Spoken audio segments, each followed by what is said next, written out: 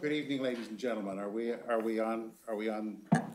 Yes, and just make sure your mics are turned on. My light, is- my, my light is turned on. Welcome, everyone, to tonight's hybrid council, or not hybrid city workshop meeting between the city council, city civic center advisory committee and the finance advisory um, committee. And would staff call the roll? Thank you, Chair O'Brien. Uh, For the Civic Center Advisory Committee, uh, Member Kohu, Here. Member Jankovic, Here. Member, Member, uh, Member, um, uh, Member Lacombe. Here. Member Petru. I believe she- she said she was attending by Zoom. She is attending remotely. And we'll proceed. Member Seo Present. and Chair O'Brien. Here. And for, and I'm going to read for the, the, the- the Finance Advisory Committee too. Um, Member McAllister? I don't believe he's attending. Uh, Member Johnson?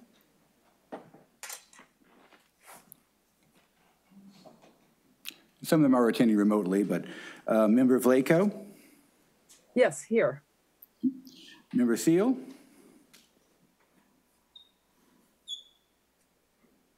Member Yorman?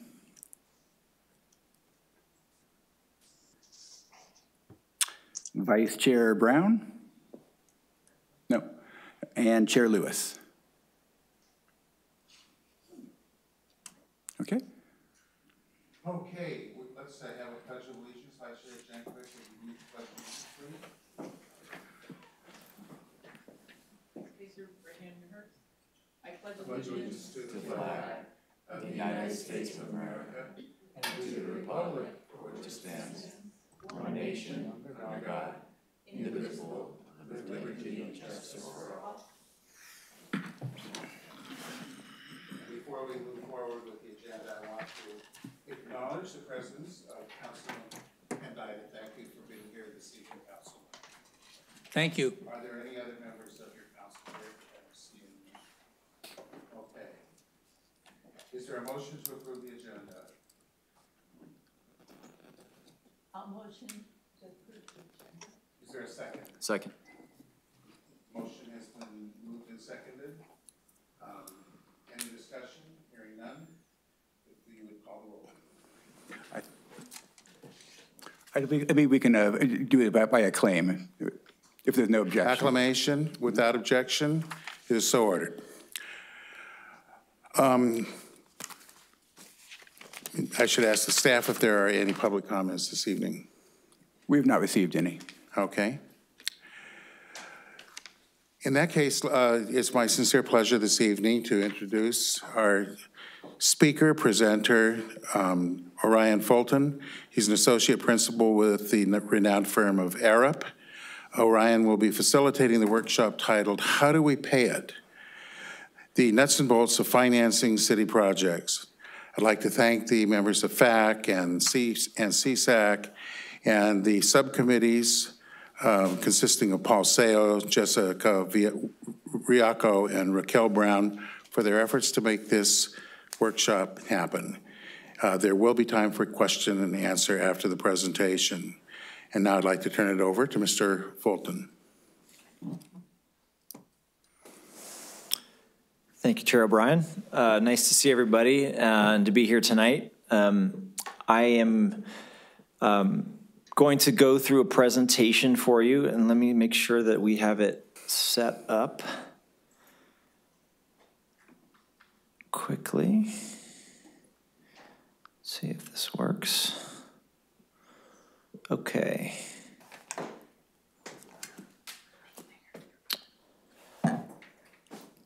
Um, We're going to run through three major components tonight.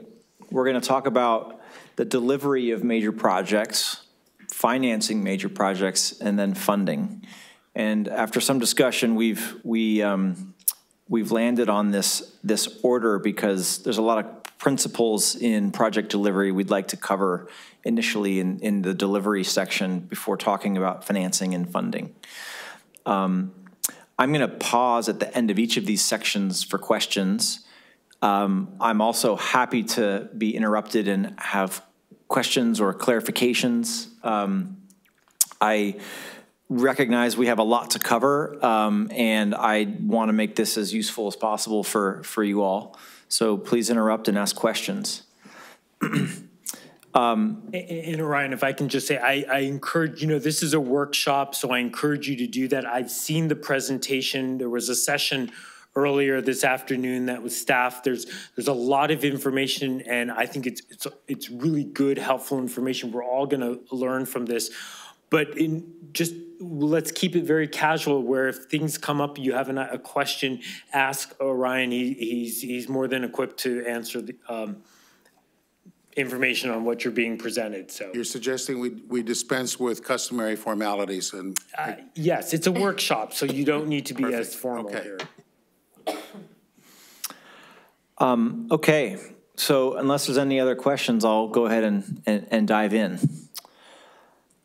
Um, so the first question I, or set of questions I want to discuss is why do we need the project? And then secondly, how should we build it? So inherently in those two questions, there's, there's two sort of fundamental decisions behind them, is the investment decision, right? Should the project be pursued, yes or no? Why should you pursue it? What's the narrative around the project? Um, what are the drivers behind the project? What are your, the outcomes that you're looking for by doing the project? The procurement decision is once you've decided that the project is worth pursuing, is how do you get it built? And how do you operate and maintain it? And those are fundamentally different questions because those are about the risk inherent in building the project.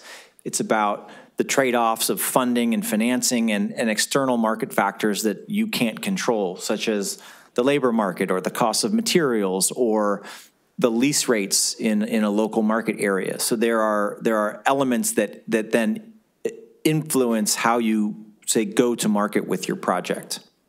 So I'm going to talk a little bit about the investment decision, and then we'll talk about the procurement decision. So in the, in the investment decision, fundamentally, you're planning your project, right? So you want to make sure that you are clear on the outcomes and objectives of the project, right? Projects have many different reasons for going forward. Um, improving seismic safety, like down the street in Long Beach, um, improving services, uh, lowering costs, um, trying to drive economic development. There's a whole different, there's a, these are things that are really important to land on early in a project's uh, development because it becomes the narrative of, of why you're doing the project. Um, I put on here um, monetizing land. Um, I like to talk to clients about this because that's often conflated with an outcome for a project. And, and I like, I think that's more about funding and creating your, your placemaking by potentially selling land or renting land to a private developer if you're a, if you're a government agency. But that's not really the outcome. The outcome might be to improve the built environment or to create more access to open space or um, to provide amenities in a community. And the way you do that is you sell some land or you ground lease something to, to a private entity that creates more of a mixed use with, say, a government use. Um, whatever it is, there's a process of stakeholder engagement, speaking to the community, speaking to elected officials. There's a there's a host of stakeholders that have opinions about what the outcomes should be, and um, there's a process that you go through to land on and, and kind of come to some consensus around what what the project outcomes are.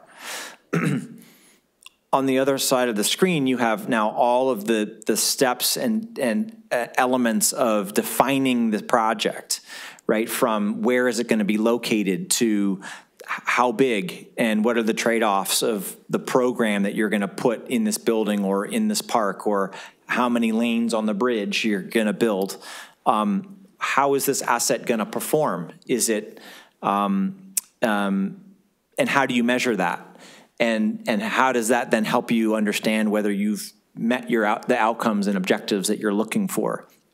You need to understand how much that that facility is going to cost. Um, that cost directly relates to how much money you may have on hand, how much money you may need to borrow, what new funding mechanisms you might need to put in place in order to pay for it.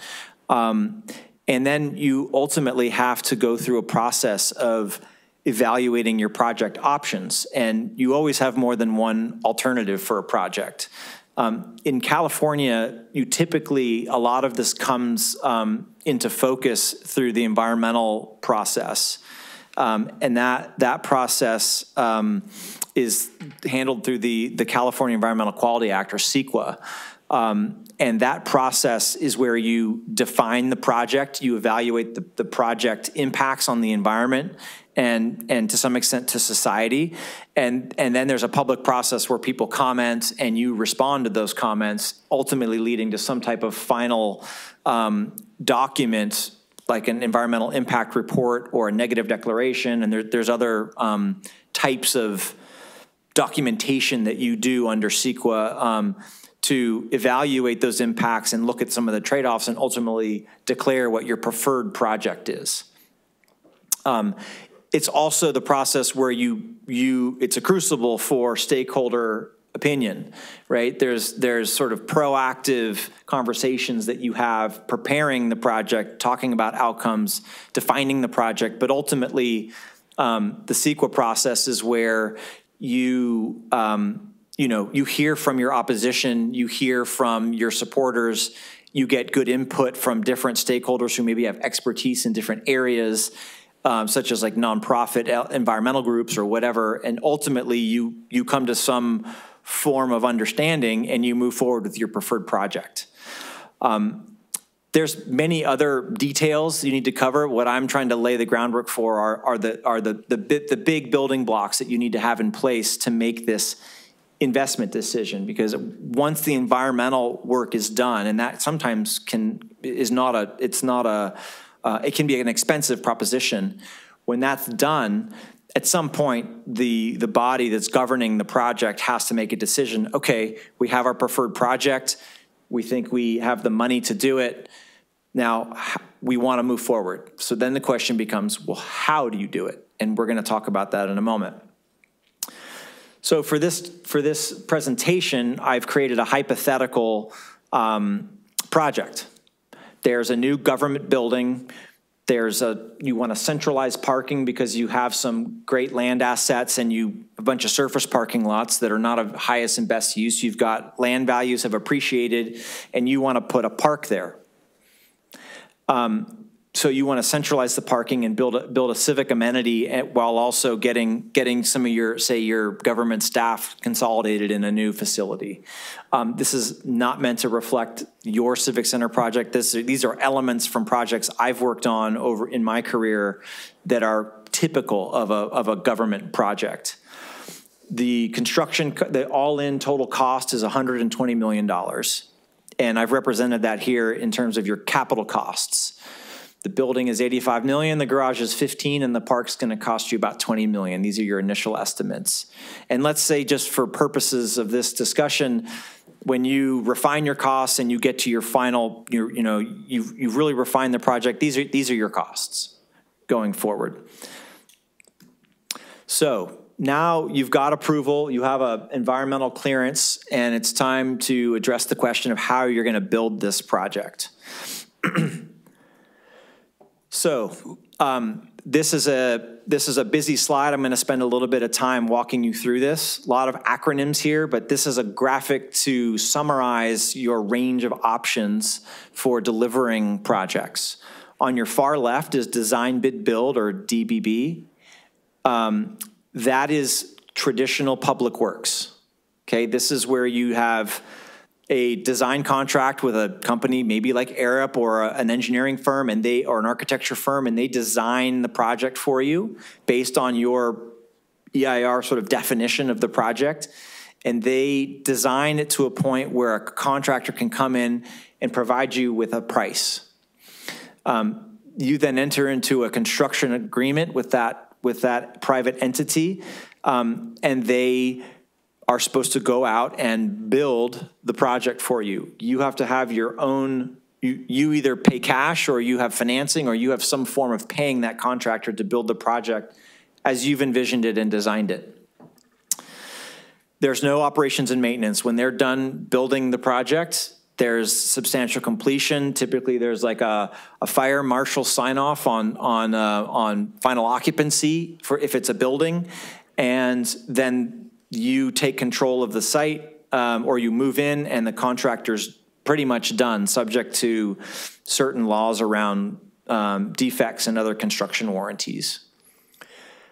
On the other extreme, on the far right, this is where um, you you might have a, um, a a private entity doing everything, right? You know what you want to build, say like a stadium or a um, another example might be um, a, a parking garage, or maybe it's a, um, a Cineplex, or it's a maybe it's a skating rink where they have like it's a quasi-public, but it's a privately developed project, and the entity is effectively coming in to give you a full turnkey project. They're gonna they're gonna own and operate it. They're gonna design and build it. They're gonna finance it. Um, it says the word privatization there because sometimes these projects are an actual sale of an asset in, for example, a, um, a, a district energy system in a, at a, cam- a college campus. Um, they want someone else to take over those operations and ownership of that plant to invest capital into it, and they have a, a long-term like concession, if you will, to do all of that because higher ed is not in the business of running energy plants.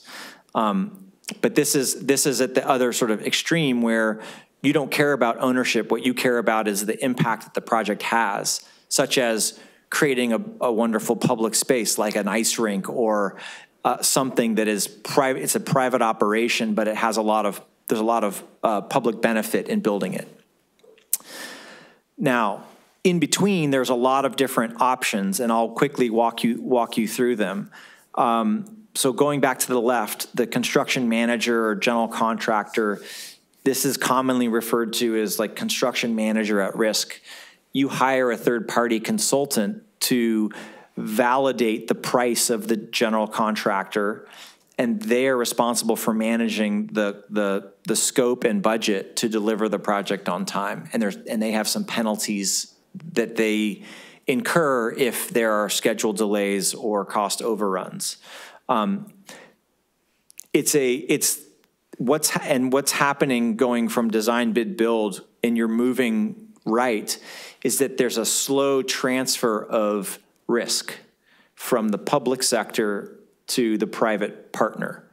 So you imagine in the extremes, design bid build, the public sponsor of that project, say Public Works Department, they pretty much own all the risk in the project, except for maybe some of the construction terms that the contractor's responsible for. But if there's a change order or the budget's not right or the schedule was too aggressive or pretty much anything that happens, what we typically see in California are contractors coming back for you know contract extensions, schedule extensions, more budget, et cetera, the change order process. Um, and so as you move from left to right, the first set of risks you're trying to manage, right? So getting into design build as well is an increasing effort to pass that design and construction risk to the private sector.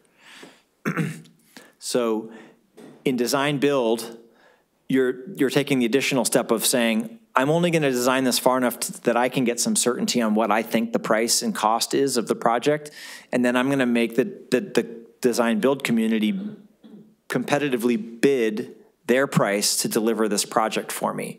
So it's not just construction, but it's actually marrying of the, the, the detailed design and the procurements of some of those material of the, of the materials and the labor, plus the construction and getting all that done on time and on budget. So when you talk about design build, oftentimes you hear people talking about turnkey, right? Turnkey means there's the contract actually states what the scheduled date is for completion. And there are penalties like liquidated damages or other things that the contractor is responsible for if they don't meet it. And Orion, typically for a design build, it's a fixed cost, right? You, the city comes up with um, the basic plans, they hand it over to uh, a developer and saying, okay, now you're going to take it from here, you're going to see it through, and this is at the fixed cost. Yeah, you, you competitively, typically you competitively bid a 30% designed project where uh, sometimes it's more, sometimes it's up to maybe 50%, but you design it far enough to give yourself comfort and to give enough direction to the contracting community that they can competitively bid a price and schedule to you, and you select them to deliver that. In design build procurement, you don't always select things on lowest price. You sometimes start selecting on best value. So you may pick somebody that says, I'm not the lowest price, but I can guarantee you the schedule, right? Or you might pick someone that says, I'll give you the cheapest price, but I'm giving you the longest schedule because I need to, there's certain risks that I need to mitigate by asking for a longer schedule. But, and there's variables you can control. But yes, fundamentally, Ara, it's, it, design build is all about cost and schedule certainty. And, and with typically for the city, the capital projects that we have constructed have all fallen under um, the design, bid, and build. That's that's the typical structure for a public works project, particularly for the city. And in that case, when you uh, issue that bid, you are you are awarding it to the lowest bidder where like Orion said here, as you start to move over on that spectrum there, you're now like in the design build, you have more leverage in terms of what you're negotiating um, or who you're awarding that contract to. So like for most recently, Ladera Linda, which was just approved by the city council uh, March 1st, that was a design build, bid build project. We had a different entity, uh, a different company design it. We, we had someone develop the bid for it, and then we, we put, we awarded the contract to an- another um, company. So, so that's sort of how that was all split up. So we wouldn't necessarily be just looking at the low, I mean, just from a community perspective, looking at the lowest bid for the Civic Center. It's really, I think, you know, he was pointing out an interesting thing that sometimes our schedule, you know, it, we, we're gonna pay it one way or another if, you know, if someone's offering a tighter schedule and, and, you know, penalties if they don't, I think it, And, and that'll ultimately, we don't know at this point. It's too early in the process, and and so we will know once. And that's why what's what what Orion is going over right now is project delivery. Based on the project, uh, how whatever we select as the project delivery will determine all those other factors. copy, thanks. Yeah. If, if, for example, we had a phased project, can you move to different risk locations or? Yes. Oh, Okay. So like the, the, the sample project, you might say, okay, well, the, the move of the new, the new building and parking garage, I want that turnkey, right? That's a more complex, that's over $100 million of work. I need that done in three years because my lease is expiring or something. And then the park, you could come in and procure separately, you know, fully design the park with the community and everything, and then, and then contract that out separately as a design bid build. Yep. Question, Yes. would you go back to uh, defining the requirements uh, and someone designed to that with the limitations and parameters to, be- that bound the requirements, rather than just go ahead and design it? So I think you're saying the, what are the parameters you're, you're writing before you, before you try to contract with someone for? No, be- Before, you, no, you talked about getting a design. Wouldn't it, uh, and wouldn't it be more appropriate to sit down and quantify the requirements and the boundaries of those requirements before you give it to somebody to design? I, we've Yes. done that. We've got the programming from, isn't that what Gensler did for us? I mean, as far as the programming goes? Right, right, is, but is that not the same? I guess I'm looking To our, to the team here. Yeah, well, certainly that is what, uh, th- through the program document which council approved back in December, well, you approved it two years ago, and then approved the validated document in December, you really identified components and some things that might be considered as well, and also uh, assign some rough professional square footage estimates to those components. So that's where we're at right now with the, the program document.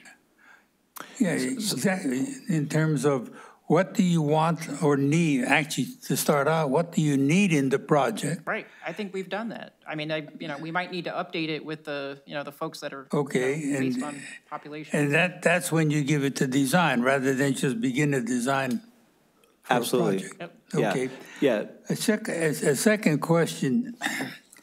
Uh, What's your view on liquidated damages uh, in terms of missing a schedule?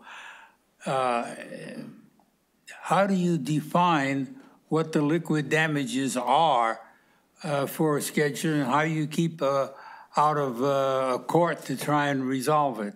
Um, yeah, great question. Um, that's a frequent topic in contract negotiations. Um, typically, the lawyers would tell you, I'm not a lawyer, is that um, it's it's defined by how well you can define the harm that's created to you by not having access to the facility. So if the facility is late, um, and you're not really being harmed, it's hard to argue that you're due liquidated damages. But um, you have um, some cases where that's actually quite clear. Like you have a lease that's expiring and you need to move into your new facility, and if you are late, you have to pay more rent. That's a very clear cost to you to do that. Um, it's a whole territory that that um, is it's good legal territory for debating with with contractors what what is and isn't. Um, in some of these delivery methods, the concept of liquidated damages in and of itself is not sort of a, a sufficient hammer to to finish on time. Sometimes there's all there's also we're going to talk about here. There's there's um, there's finance um, and finance deadlines and when things are when interest payments need to start and commitments that you need to make in the financing documents that also create an urgency to complete projects. Um, and even within design build, there are also um, different forms of design build um, that have varying levels of cost and schedule certainty, terms around cost and schedule certainty. Um, liquidated damages is not the only one. Well, my, my concern is to, for instance, in the city, uh, something doesn't get done in time, and you're going to have to spend more staff time, but we don't log staff time. Uh, We treat it as overhead, and so how do we compensate for that? Uh, Wouldn't a- an agreement in the contract to just say, okay, for every day you're late, you're so much penalty? Yes. And not worry about defining all those different issues and getting into a contest of who's right or wrong, or, or is that really a, a, a damage or not? It, Yeah. it avoids a lot of arguments. My experience is that the, the, the better you define how liquidated damages are arrived at in the contract, you have more success later in arbitration if an issue comes up of how you did define it.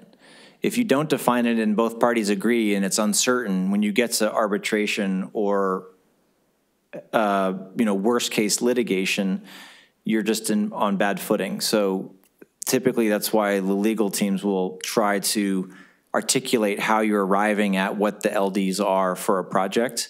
I think staff time is, I would say that's a legitimate concern and that's a cost to the city. Um, So I don't, I don't want to go down the LD rabbit hole, but LDs are one of the key tools for creating um, schedule certainty. Yep. Um, There are other, other forms of guarantees and stuff as well. Um, In, in the blue box, the next turn, the next thing you see here is design, build, operate, maintain. And this is a model where you're not asking, there's no finance yet, but you're asking the design build team, you're asking a developer to consider the life cycle costs of projects. So Many of you, if you've been involved in any kind of capital project or decision-making, maybe even in your own home, right? Is it, is, is, are you making a decision based on first cost? Or are you making a decision based on like the longevity of what you're, you know, are you buying carpet or are you buying marble? Or are you buying um, a 30-year comp roof or are you buying a 50-year comp roof, right? These are life cycle questions that you're asking yourself and you can think of a, a, large project there's a myriad of systems and structures and things that you're investing in that when you only have to worry about the first costs and the construction you don't need to think about when that has to get replaced right unless there are instances where you could be very specific about what type of material you want um, or what performance it has to meet but by and large, what we're trying to accomplish here is we're trying to create the contractual incentive to optimize that first cost decision versus the life cycle cost and to have evidence that a decision's been made that brings value to the public sector. Um, you also have your own choices. You can say, we need to get this project built. Our budget only goes so far. We can't afford X right? But you make that trade off knowing full well that you're replacing that flooring in seven years, not 50. Um, and so that's this is where we start to get into the P3 realm where you're trying to look at whole life cycle cost and the implications of it up front when you're doing your budgeting and your design work. The next concept is finance. Um, and this is actually a really important one for the other parts of the, the, the, the presentation when you when you see the design build finance or the design build finance operate maintain what you're seeking here is an arm's length financing from the city or whatever public entity we might be talking about um, and that has a couple of key ramifications the first one is that when when you're doing contracts, you're not writing the contract for what's going to happen typically. You're writing a contract for what could really go wrong. Okay? So when when when you're thinking about um, a contractor defaulting or they've overrun and you said they haven't met the contract and they walk off the job, right? You or you have a um, you have a um, a development entity that's you've tasked with building something in a P3, that becomes their that becomes their problem because they have an arrangement with their lenders to complete this project, right? A bank loan, some in some cases certain types of bonds bond uh, transactions. Um, you have a relationship between the entity that you have a contract with to deliver the project but they, they one of their responsibilities is to secure the financing. So just like when you buy a house and you have an arrangement with a with a lender to to give you the money, one of the things they look for is like how much money do you have down, right? Do you have skin in the game or not? They you don't finance houses with 100% of a bank's money. They want you to have money in the in the deal.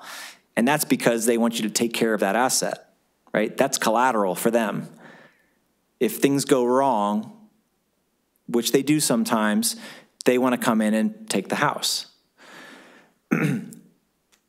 now, in, in infrastructure and P3s, same principle applies, right? This, if you're entering into a contract with a developer and you want to have them secure the financing, you're saying, I'm entering into a contract and I'm willing to pay you X. But in return for that, what I want you to do is execute the finance, execute the construction, and to do so, I want you to go convince a lender that you've got a good plan, and you secure the financing, and you hand me the keys when you're done. So, from a risk now, remember, we're talking about project risk. So when we're, when we're talking about risk mitigation, you're basically saying to the developer, I'm not going to be the only judge of whether you've got a good plan here. The lender is going to make that independent judgment themselves. And by the way, that lender is going to have first rights to fix this project if something goes wrong. They're coming to you, Mr. or Mrs. Developer, first. right? And your equity might be, uh, your equity might be on the line if there is equity before the city or the, the public sector gets involved. Now, in some other talk, I can come back and we can talk about some of the legal rights, like step-in rights and things. Ultimately, your contract, like in design, build, finance, you would still have rights in that situation because they're building this thing for you. But fundamentally, you're telling the development, the developer in a design, build, finance, I want you to take care of that for me. And you know, one of the arguments against doing this is, well, that means the cost of capital, the, the, what they're going to charge me to go take that risk is higher because they can't turn around and ask the city to cover that um, if, if there's a downside scenario. Um, so that's really the, the essence of the design build finance. Now, if you tack on the O&M, what you're telling the developer is, I want you to take responsibility for optimizing the performance of this asset long term. So not only do I want you to give me a turnkey financing, and construction, I want you to do that with the performance with the performance metrics I've given you in my contract. So, like again, for example, in Long Beach, we set um, energy targets for the buildings long term. So, not only did they have to design them with those in mind, but now they actually have to run the building and prove to us that they're getting the energy savings that we asked for up front. And if they don't, there's a contractual mechanism to, to adjust what our payments are to the developer because the building isn't performing the way it's supposed to.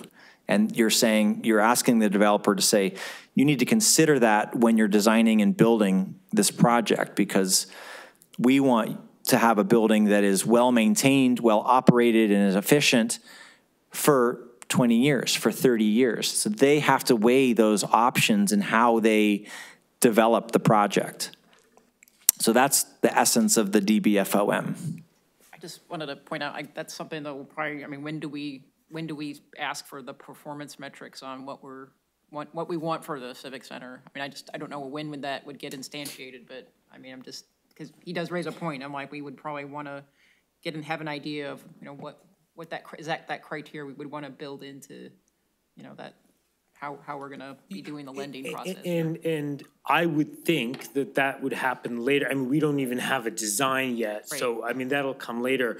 I think what's really important, and I don't want to spend too much time here, and we can kind of keep moving, but this slide here is the reason why we're having this workshop this evening, and I'll tell you why. Um, a couple years ago, some of the members of the committee may recall, we were, we were in, preparing to put out an RFP um, to move into a phase of the project um, to onboard uh, a developer for a P3. We were talking about P3, we were going to get some information and, and do that. Before we put that RFP out, uh, this for the Civic Center project, we realized what you're seeing in that blue box, they're different models to a P3. So you generally hear people say P3, P3, P3, but there's so much more to it. And, and it was at that point that we realized we, we're, we're putting, we're going out when we still don't really have a good grasp of everything. And so we stepped back and we decided to enter a different phase for the Civic Center project, and that was to uh, explore and to obtain more information.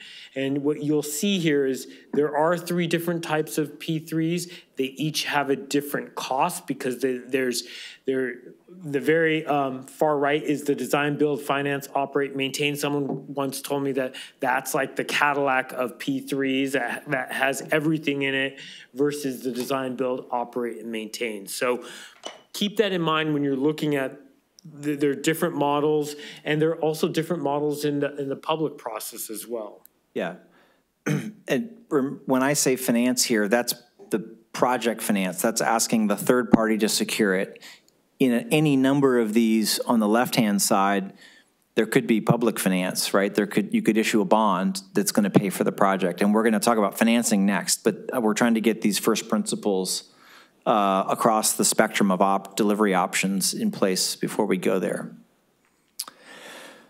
Um, I'm going to move through some of this quickly. Um, You will have a copy of this, but this is sort of summarizing what, some of the points I made um, in comparing the kind of bookends of the public works typical delivery of design bid build versus a P3. And in this case, we're talking about uh, a DBF or a DBFOM. Um, You can see some of the, the key, the key differences here, how far you need to take design, how fixed and certain the, the price and schedule certainty is in the contract. Um, Non-recourse means that it's arm's length from the, the- from the city.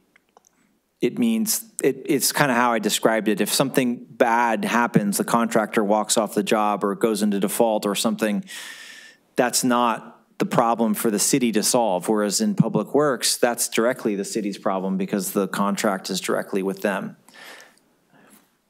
Um, and then in terms of operations and maintenance, some, sometimes cities want to do a DB, uh, a DBFM. They don't want you to touch, they don't want a developer touching the operations because it's, you know, it's an, it's an asset and you have operators that are prepared to operate whatever facility this is, like bridge engineers or an EOC or a, I don't know, operations of a, of a, of a building. You don't need them to do that, but you want them to maintain it. So sometimes there's a DB, a DBFM.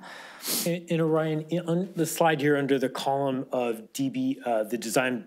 Bid build. Bid build, you, under financing, you have municipal bonds, but that's not the only way to finance a project. And I know It's- you'll get into that. Yeah, that's, later. that's common, but, you know, you, you could have, I mean, there could be no financing, it could just be cash, right? It could be pay-go. When you have the money, you, you make payments. Um, It could be, um, and we're going to talk about all the different flavors of municipal bonds. Not the only, I mean, for Ladera Linda, you know, we didn't go, we didn't use a municipal bond to pay for that project, which was a a DBB. Right, yeah. Um, This is examples of the risk allocation I was talking about. These are not all the risks, but this is a smattering of the most common ones. And you can see, this is, we're illustrating the, how you're transferring some of the rights, uh, or, sorry, risks. Wh- The shared risks are important because one of the principles of P3s and project finance is that you give the risk to the party that's best able to manage it.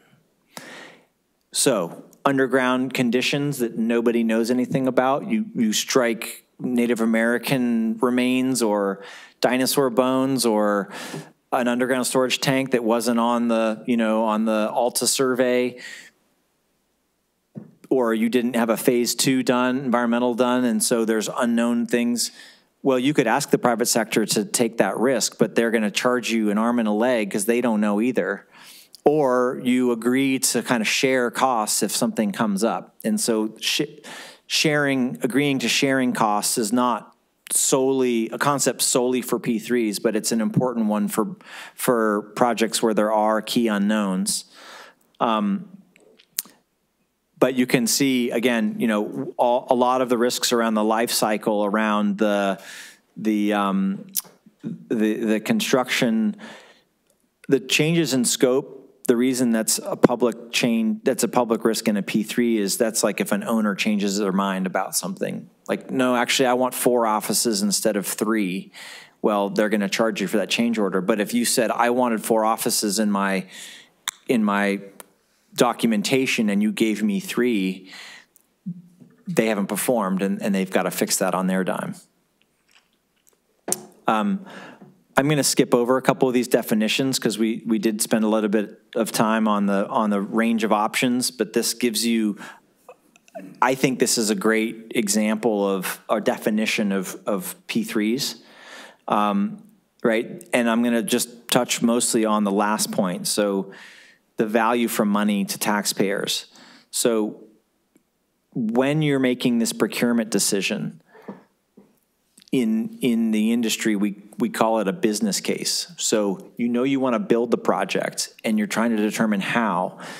You do an analysis to compare effectively the, the, the risk and the risk premium, as well as the cost of capital and the timing of the payments, you roll all of that into a, a business, a business case that helps you evaluate the key options for delivery.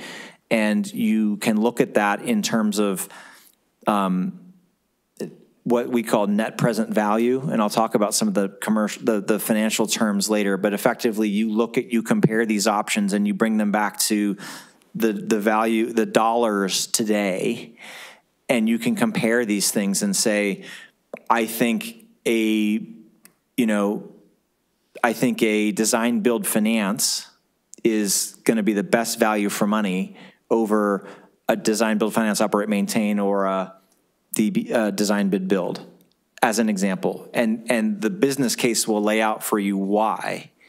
Um, some projects some clients um, they the value for money for them is clear and they don't need to pay the time and money to go through this detailed exercise. Um, others um, when especially when they're changing procurement methods from you know they've done 100 projects one way and they're making a change to do design build for the first time they usually want to go through this exercise to really document quantitatively and qualitatively why the shift should create benefits um, and and articulate them and be measured against them when they do a different delivery method. Um, that's really the key of a P3 is that you're you're doing the P3 because you're you're getting some benefits. Not it's not just about raising costs and you know private equity making money, which is a lot of the arguments you hear about P3s. It's are you actually can you define and articulate the value you're getting by changing your procurement method? Um, this slide's, I'm going to move quickly through this, but effectively there's just two types of P3s. There's an availability payment, which is a payment for service. So Long Beach is an example of that. You built me a government center. I'm going to pay you back for having built that correctly and it's operating efficiently as per the contract. Um, there's no revenue being generated.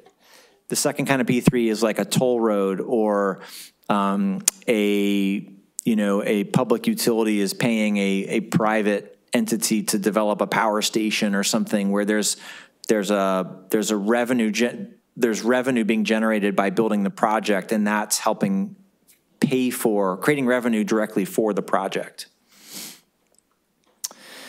Um, in P3s, there's a number of players, um, and the next few slides just talk about who some of these players are, right? There's the lenders, um, there's the private developer or concessionaire, um, and the team that they need to bring to the table depending on what you're doing.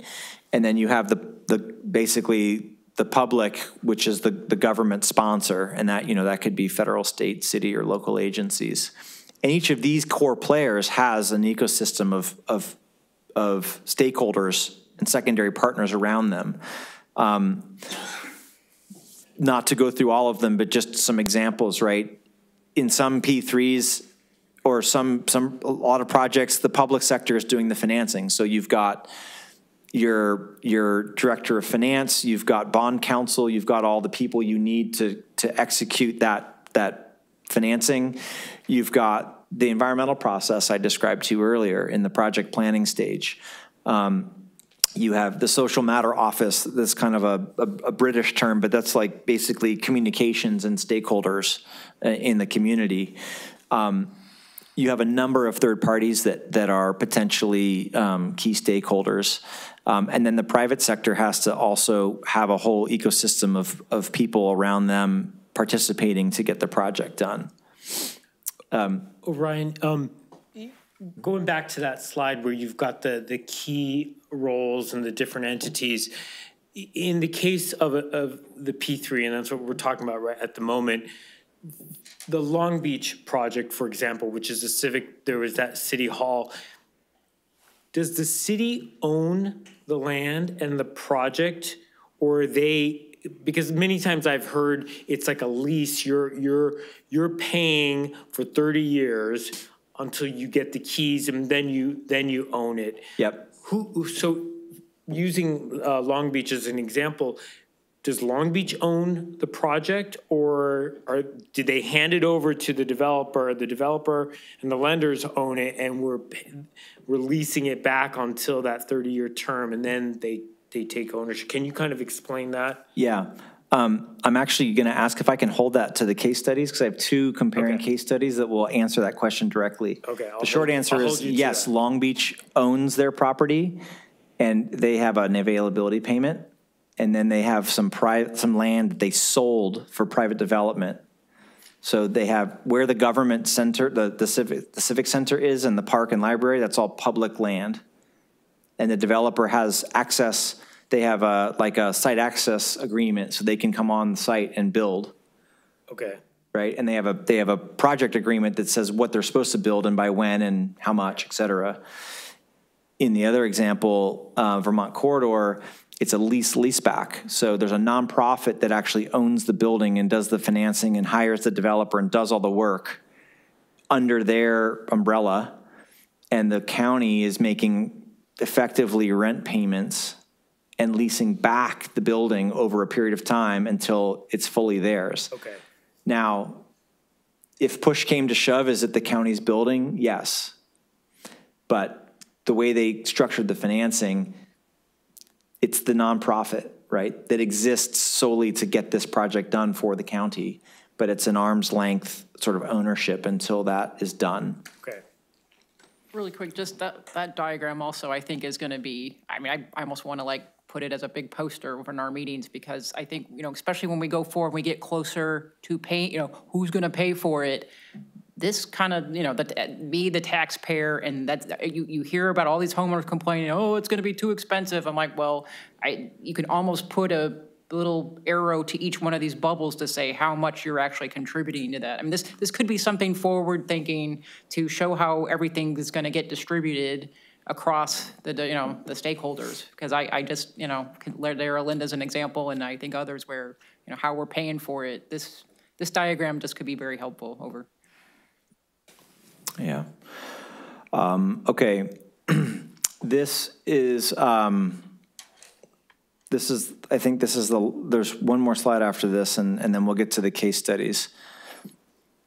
So in a P3, you're hiring, the SPV stands for Special Purpose Vehicle. So when you hire a development entity, you're not hiring the parent company they're creating a company that's going to deliver the project for you, a limited liability corporation typically. That company is set up solely for the purpose of developing the project. That company gets staffed by professionals. Um, sometimes those professionals come from the developer themselves. Um, and typically you can, you can write in your procurement your procurement documents, who the key staff are, who have to be involved at what stage, et cetera. And that dictates partly who, who this company, like, gets, who's being staffed inside this company. Um, that entity is your developer and then, or project company, and then they arrange the project, right? So they, they hire the design build team, they hire the maintenance or any um, operation contractors. Um, they also um, secure the equity, typically from their parent company. Um, sometimes there's other equity providers, if there's equity, right? Not all projects, not all P3s have, have equity, but typically they do. And then they also arrange the financing, right? The, we're talking about DBFOM. And they do all of that based on the terms of the agreement for the services and facilities that you've entered into as the public entity with that developer. Um, you can see that this diagram is to kind of help summarize what the key sort of relationships are, right? So you see both lenders and equity providing funding in the form of loans or, or, or equity and then they are being paid back um, in a hierarchy. There's a hierarchy to how they get paid back, but they're getting paid back.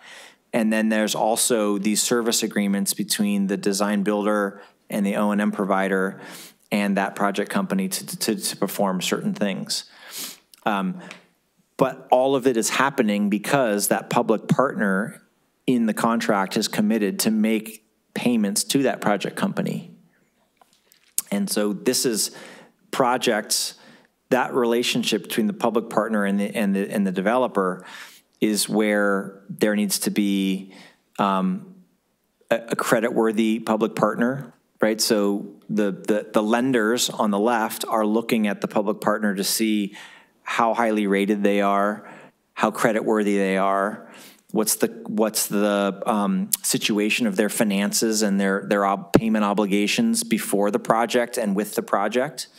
Um, they're also looking at the project itself. How well is the project being designed and planned for?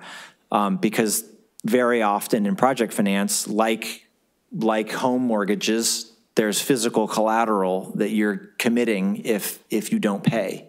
Um, and that's what the lenders want because the lenders don't want, banks don't want risk, right? Bondholders don't want risk. They want to give you money and have you be successful and you pay them back an interest, you know, an interest rate on that, on that loan.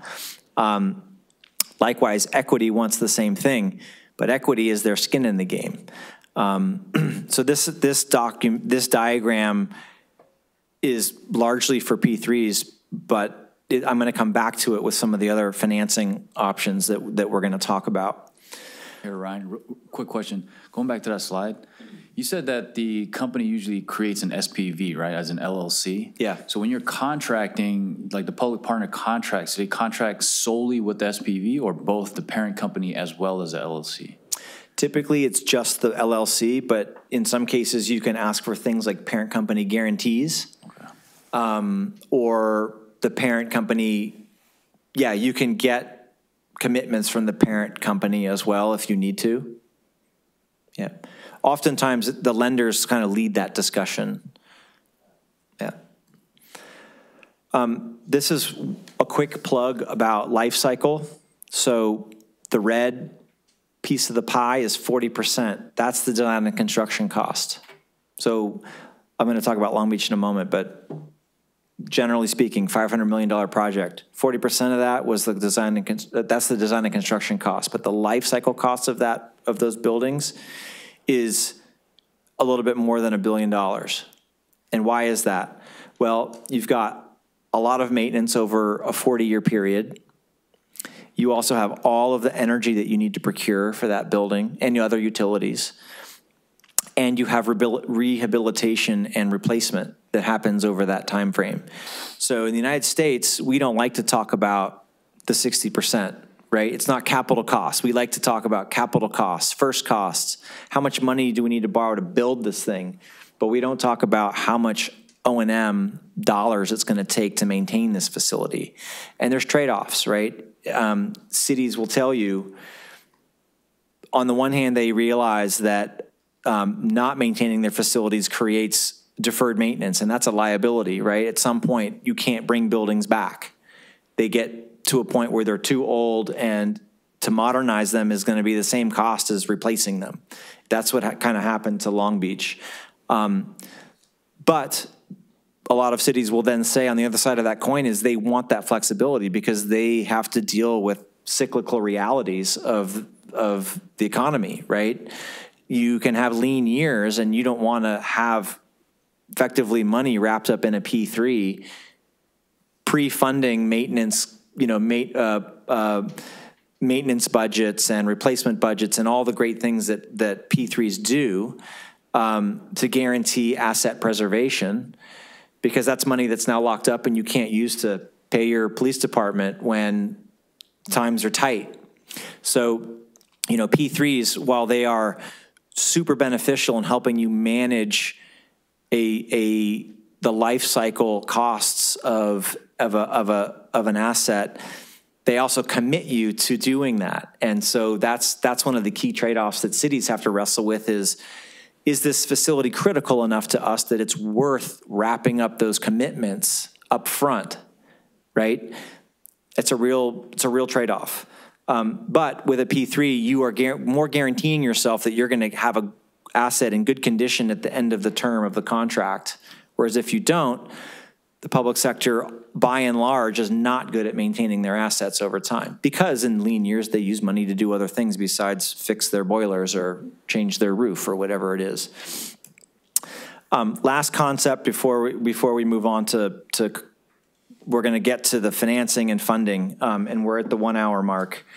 Um, this concept that you see on the on the screen here is what we refer to as like a waterfall, and in P3s, just like a general fund, or for that matter, even in in you know um, running a corporation, you have a hierarchy of costs.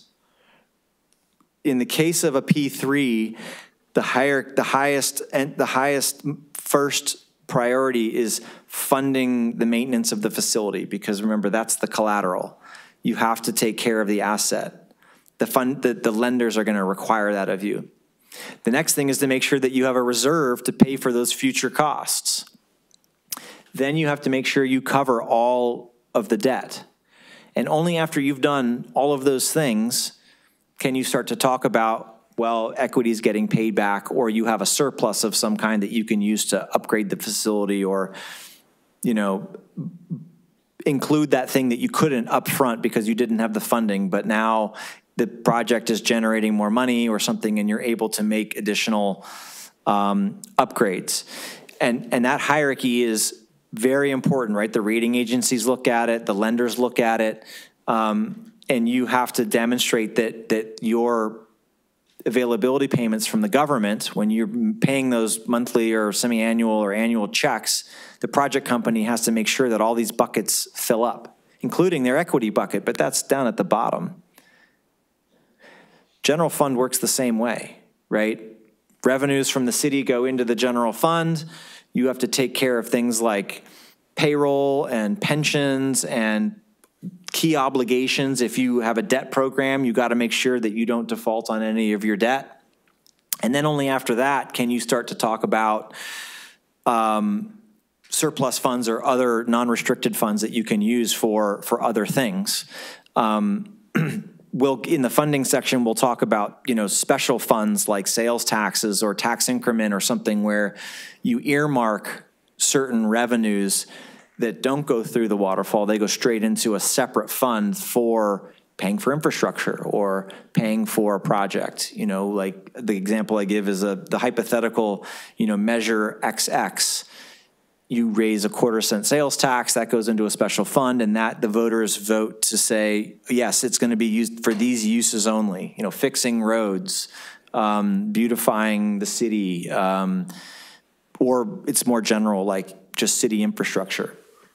But again, there's a priority. My point here is that there's a priority here, um, and it's an important concept when you're thinking about this procurement decision. What kind of procurement am I trying to action? And do I need to have, is it important to us to have a priority for how these costs are, um, are accounted for and in what priority? If you don't do the P3, right, the design build finance or design build or design bid build, those top two buckets go to the bottom. I mean, not in every case, but that's typically what happens. And that's why maintenance money dries up. So, Long Beach, to Ara's question, he, it was like a plant. Um, so, in Long Beach, there's this is some just basic basic information about the project, right? That the city and the port were the co-sponsors. The plenary properties, Long Beach was the concession, the SPV that that delivered the project for them. They were that red box in the middle of the, of the diagram. It's about 600,000 square feet of total public facility space. Um, and then there's also private development. There was a, a, land sale that helped generate funding for the project, um, about 30 million worth. Um, where the old city hall sits today, that's going to turn into about 500 units of workforce housing um, at the end of a public project.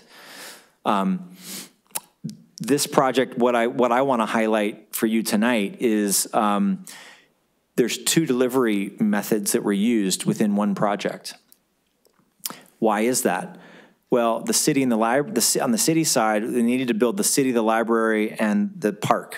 The port was going to build their headquarters.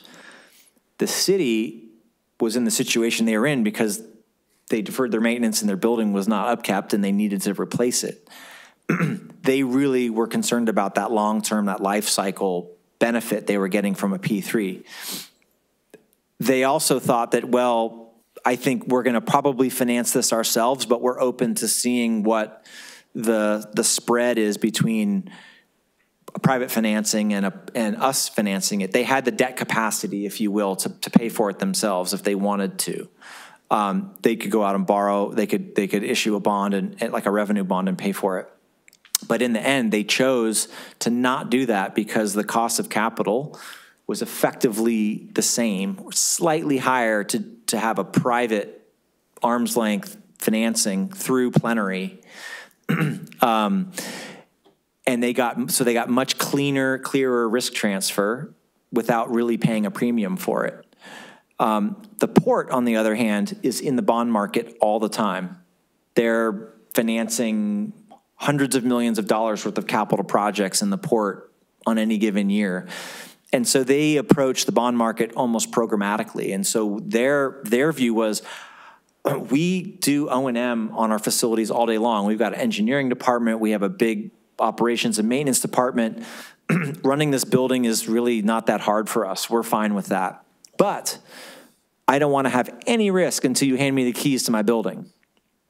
I want to worry about my port. And when you're done, you hand me the keys, I'll borrow some money, you know, in a bond issuance, and I'll buy you out. And so this DBF was used con- a construction loan. So Plenary went out and secured a three and a half year construction loan from Sumitomo Bank of Japan to cover all the costs of the project up front. Um, and that arrangement was between Plenary, their contractor, and, and the bank. And when they finished, and they met the, the obligations of substantial completion, the port said, okay, here's a bunch of money we just raised in the capital markets, you know, a, a 30-year bond or something from, from their financing, and bought out the bank. And now they're just making, and they're making these bond payments um, as part of a program at the port. So two clients, one project, but two different approaches to how they thought about this procurement decision that, that I've been talking about for 45 minutes.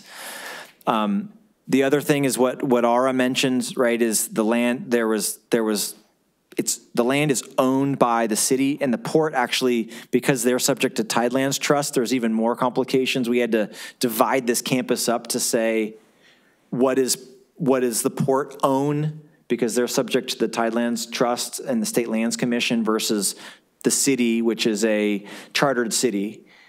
So that we had to actually divide this stuff up to get that clear.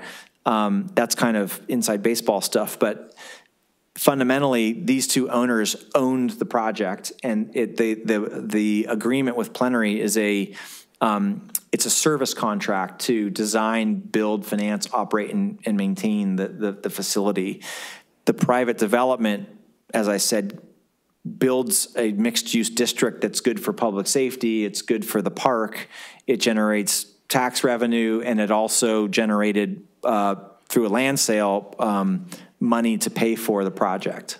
You know, what's in, what's interesting with this um, site, putting it in context, it's one campus um, with multiple buildings, and they each were delivered differently. So just kind of put that in context uh, Yeah. to what the Civic Center could be. I mean, we have one campus, we have different buildings that may belong to different entities. There could be different delivery methods for each of those. Yeah, Orion, you said it's generating revenue from specifically what? The, like, once they build all of that housing, there's going to be property tax and more people living downtown, so there's going to be more sales tax. Yeah. The city didn't bank on that, by the way, but it was another motivating factor. Plus, you know, as you guys probably know, cities all have to meet these housing requirements uh, in their cities, and so this project became a, a, a platform to get a bunch of that built downtown. It's a pretty complex build, but use, if you preferred, which, which option worked better? I mean, if they could have chosen one type of, hmm. of option, which I- works smoother? Um, well, I would say both of them worked pretty well. I mean, Plenary, I'll give them kudos for really kind of figuring out how to unpack it and convince lenders that they could have two forms of, of debt in the same project because we demarcated things so carefully. So, you know, Sumitomo and eventually the port, between the port and the city, they know who owns what. And that's really the most important part of this. You don't want to have um, we don't want to have things getting commingled because when, if a bad thing happens, like a default, and people are going after one another for, for claims and things, if you're, if, if you're not super clear about that demarcation and who owns what, it, it can be very difficult, and lenders will oftentimes back away from that kind of thing. So the fact that this ha- even happened was, was a testament to the, the, the, um, the plenary team. I, I wouldn't say that DBFM or DBF was better or worse. Each client had their own sort of assessment of the procurement decision that was right for them. I understand that with the courthouse component, uh, there were some private concessions that generated, expected to generate revenue for a long period of time. Yep, so then the, the Long Beach Courthouse had, um, I think, about 50,000 square feet of rentable space that actually was financed with a taxable portion of the overall project because it was, it was private use. But they did that so they could generate some revenue and create, you know, food for the judges and the, and the, the people, the jurors and everything. Yep. It wasn't substantial, but it was a, it was a small component to the fund, financing. The Vermont Street corridor, I'm using this as to contrast because it's a similar kind of building, government office building with parking, structured parking. Um, As I was saying to Ara's question, this was a, used a 6320, which is a, it's an IRS code, but effectively it's, they used a nonprofit entity to house the project. And then that nonprofit entity hired the developer who then took care of the design, build, and the O and M. But what they, what the nonprofit did is it enabled them to, a nonprofit tax exempt entity was borrowing out in the market for tax exempt debt to build a public facility. So it was a way of getting sort of that, it's an attempt to get that arm's length transaction. So it's not the county of LA financing it. The county of LA is signing up for an obligation to pay that nonprofit. Okay? But the nonprofit is ultimately responsible for borrowing the money and distributing the funds and getting the project built and then leasing it to the county. So that sounds like splitting hairs, but from a accounting perspective and a risk management perspective, let's say this project was a, a total disaster, right? And the contractor walks off, you can't find a replacement. Who's holding the bag? Well, the county is not. The nonprofit is. Ultimately, you say in a court of law, like what would happen? The county would probably have to come to the table at some point, but what you're trying to build are like these mitigating mitigating factors and players that have to perform and solve problems before you do as the as the owner. That's really the essence. Um, in this case, it was done through a lease lease back rather than a, um, a like a concession contract.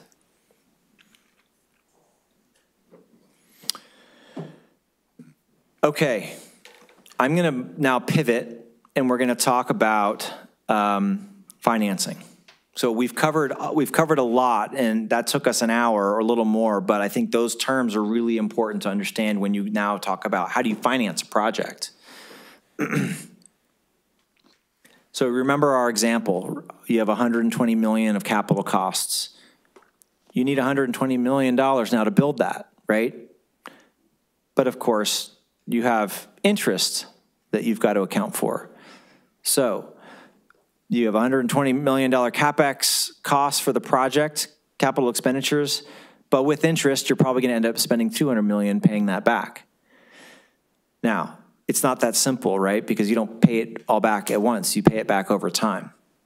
So what are some of the key terms we need to keep in mind here? First of all, there's different types of capital. There's, there's your, um, there's debt, there's equity, and there's cash. And those things have different, can have different restricted uses or not. Um, and we're going to get into the debt stuff uh, as for most of this section. You also have each of these um, each of these types of capital have a cost associated, right? So you all probably have heard and, and believe that you know tax exempt financing is the cheapest form of capital because there's no federal tax on it. The federal government says if it's for government use or other qualified uses, we'll waive our federal tax component of that of that project, so the interest rate is lower. But there's also taxable debt. There's private debt. There's different flavors of debt. Um, so when you're thinking about that, is how much interest are you paying on the money you're borrowing? Um, we're going to spend a little bit of time talking about time value of money. Um, I think most people are familiar with the concept, but I want to make sure we're clear on principles because how you go do that business case that I talked about. Remember, I was talking about you compare projects on a present value basis. Well, the time value of money is the big driver of why certain types of procurements and delivery methods have a better present value because you have a lot of payments and costs delayed into the future. And that's a principle of finance that sometimes is conf- confounding to, to a lot of people. And you do end up paying more, right? When you buy a house, you plan on making interest payments for a long time and you end up paying more than your, you know, the the capital cost of your house.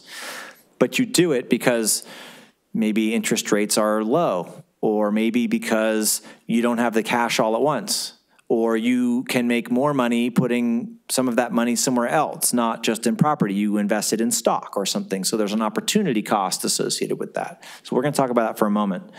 Um, some forms of debt and, and cash, for that matter, if it's coming, you know, it's a form of funding, um, have restricted uses. And finally, we mentioned this, but there's there's an issue. The, there's the concept of credit worthiness, which is, you know, how that's usually done through a credit rating process, but public entities get rated on how good they are at meeting their payment obligations or, or servicing their debt. So we have this interest that we've got to pay for, but it doesn't all happen at once. And we have some equity in this deal. You don't always have equity, but we have some equity in this deal, and, and that equity wants a higher return than than the debt. And so you have to that interest is a blended, there's a like a weighted average cost of capital for the project. Um, so the time value of money. So you're not paying all of that all at once. You're going to pay for that project. You're going to borrow the money and spend it and then pay it back over time. So just as way of, of clarifying this, last year at the beginning of 2021, if you had a dollar, you could buy something for that dollar, right? At the end of the year, inflation went up six and a half percent. So at the end of the year, that one dollar was worth less it was worth six and a half percent less than it was at the beginning of the year because of inflation. So that's that's time that's time value of money number one. So if you put money under your mattress, right, it can't earn interest. Inflation goes up, or or the, the cost of goods and services goes up over time. So those dollars are becoming worth less. So the opportunity cost side of this is you want to put that money to work somehow right? You could that money couldn't be sitting. It could be sitting in a savings account. It could be sitting in stocks. It could be sitting in gold or whatever. So you have the and when it's there, it earns interest, and that interest compounds. So you have these two factors that make money worth less in the future. One is inflation. The other is these opportunity costs. So if you're comparing different delivery methods and you could do different things with your cash at different times, how do you compare those two things? You bring everything back to the present value and compare it to today's dollars. Okay, so when we, remember, we talked about the business case in the, making your procurement decision. Well, this is what you're doing. You take all those costs in a cash flow over time, right, by month or by quarter or by year, and then you look at your sources of, uh, you look at your financing and when you need it and how much and how much interest your payments are. And then ultimately, you're going to look at, well, where is the cash coming from to pay for that? And we're going to talk about funding last. You then discount that back to today's dollars using different techniques, but ultimately you're trying to get things back to a present value to compare them. And that's where you see the value for money. Is it, is it a, it is art and science, right? What is the discount rate that we should use, right? We can debate that. Typically, you use something that's similar to the, the cost of a municipal bond, for example, because governments typically can, they know, they understand and know what the, that cost of capital is. Um, so this concept is really important when you start thinking about cash flow over time. So in the case where you pay cash, right, you don't want to borrow money. You just want to pay for costs as they come. The red bars are your construction payments. I took the numbers off in, in, on purpose because this is just con conceptual here. You have a three and a half year construction window. You ramp up with your design, you get bids, the construction starts, and then years two and three, you just go gangbusters. You, you spend all your money, and then you kind of ramp down and finish, and you go into operations and it's a new building so your operating you know your operating costs you're not really spending much money on maintenance but then after about 20 years you have to start fixing things right? And and these rehabilitation costs start popping up. This is from a real project that i've i've stripped it bare. Um, but you you see the concept right? You know over time you then have to start these these are these are paying for costs as they come. But that's a lot of money you got to come up with right at construction. This is the DBFOM example. You, this could also be a DBOM, right, where the financing is handled by a government entity. This is just the, the point is to spread your financing that capital costs over time. Um, so you see the yellow are public sector costs, like transaction costs, design costs. You have um, management costs during construction. You have you have costs during during the construction period, but you get to the end of construction and th there's a milestone payment here, and, and I'll talk about that in a moment. But then you start paying for the project. And the blue are all your fixed costs. So think of that as your, you know, your operating some of your some of your operating costs and all of your your debt that you're paying back. That could be debt and equity or just debt. But those are fixed costs. You know how much you have to pay every month for 30 years if you, you know, you borrow money from a bank or in, in the bond market. Um, and then the green are your escalating costs. Those are the things that are subject to escalation that you're planning for. So your labor, uh, your materials, things like that, that you know you're going to have to fund. Remember that waterfall I showed you? You've got maintenance reserves and things that you're covering.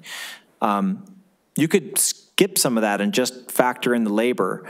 Um, you know, if this was a if this was just debt service, you could effectively remove the green, right? And that would be kind of typical procurement and financing. That that would just be a year on year cost, and every every annual budget, you just figure out how much green you need, and hopefully you have it. In a P3, you plan for it ahead, and it's all baked in like this.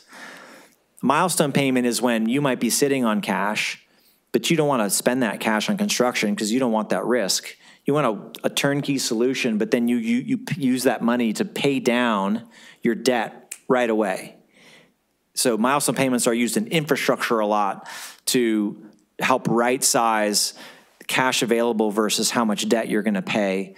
So milestone payments can be an interesting factor in creating a, an affordable project. Um, okay. so, so these are, these are contrasting cash flows of, of projects. And you can see from a time value of money perspective, where's all the cap, where is all the capital being spent in a pay-go, right? It's now, it's in the next few years. If you finance this, a lot of that money is being paid way out in the future. It's, it's in today's dollars, it's 50, 60% of the value today. So when you discount that all back to present value,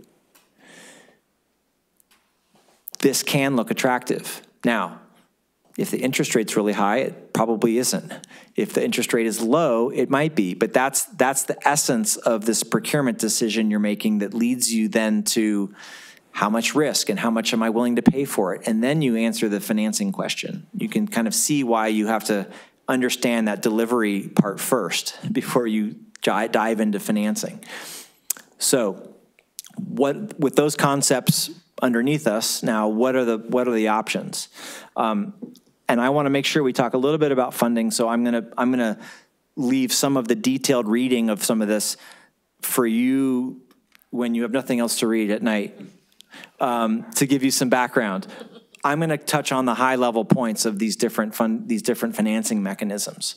Um, so you have some you have some nuts and bolts to to to use to to read the detail. so we're talking about municipal financing, okay, and we're talking about different types of, of, of financing that you can use. The United States, by and large, the most common is tax exempt bonds. So governments can issue federally tax exempt notes or debt obligations that allow them to spend that money on certain qualified uses like building government facilities. These are typically fixed income um, securities, meaning the bond holders ask for a fixed payment every month or every quarter or semi-annually every year up until all the interest is paid off and then commonly there's like a balloon payment at the end, or you can do it so you're paying principal and interest over time, kind of like a, um, a mortgage. Um, but again, the it's really for public use and they call the IRS calls them qualified uses, and this is where you typically hire um, a financial advisor and or a bond counsel, and they help you work through exactly how you present these bonds to the market so that you are conforming to all of the, the, the, rules and standards as well as you know market expectations of what would be in these bonds. Um, and the key thing at the bottom here is that private use is limited.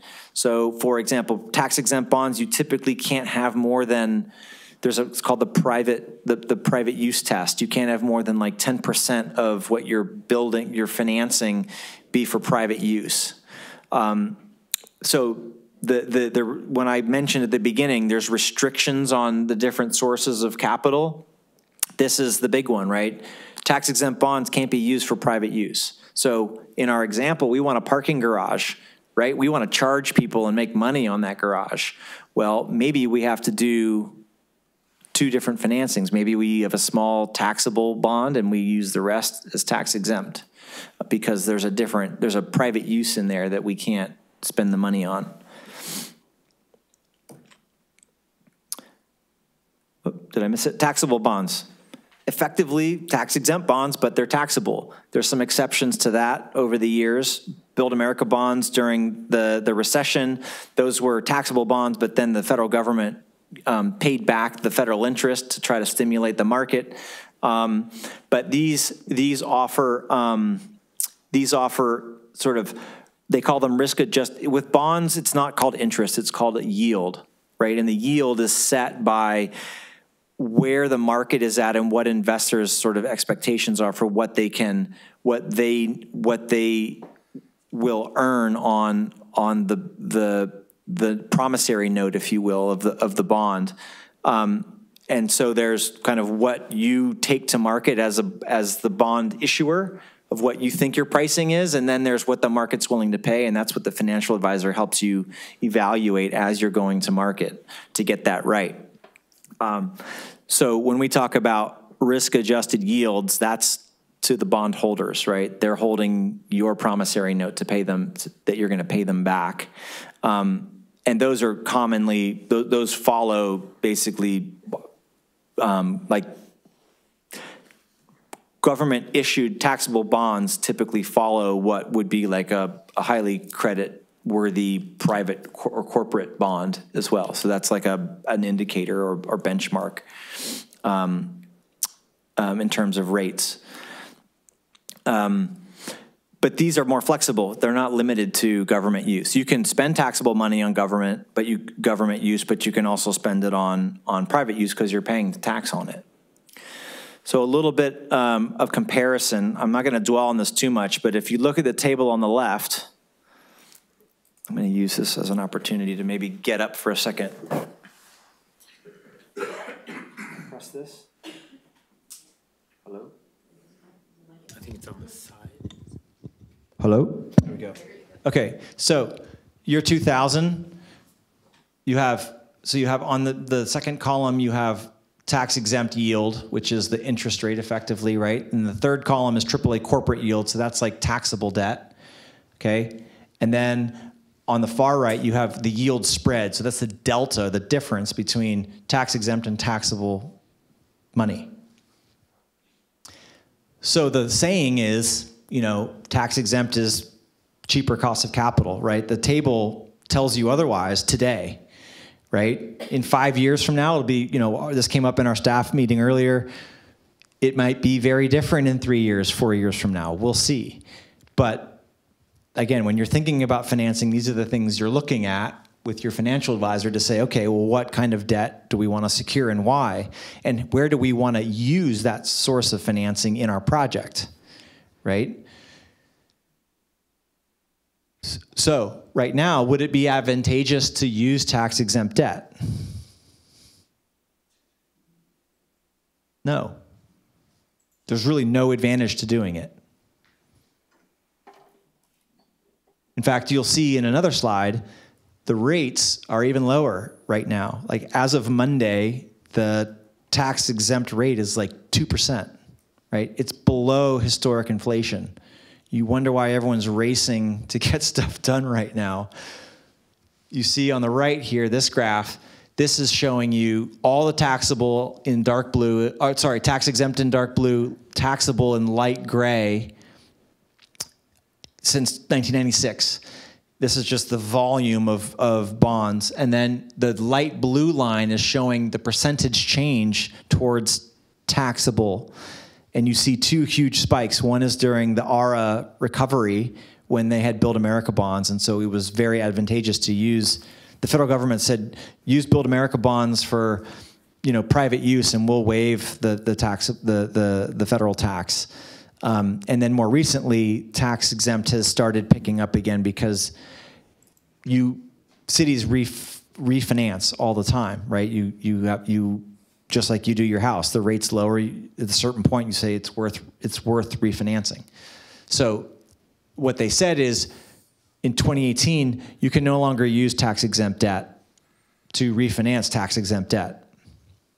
You're basically double dipping. So if you want to refinance, use taxable debt because the federal government wants to leave that that um, what's the word? They want to leave that um, that amount of defer, that that amount of foregone tax revenue at the federal level.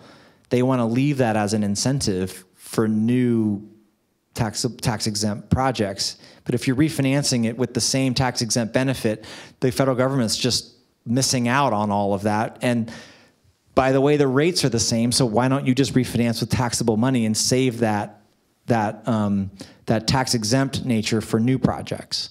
So that that's what happened there. But it's just a really interesting time, right? Because the spread is is non-existent. um, okay, so what are the types of notes? Uh, long-term note. When I say long-term notes, we're basically talking about 30-year bonds. That's when you talk about bonds, that's the very common term um, or duration.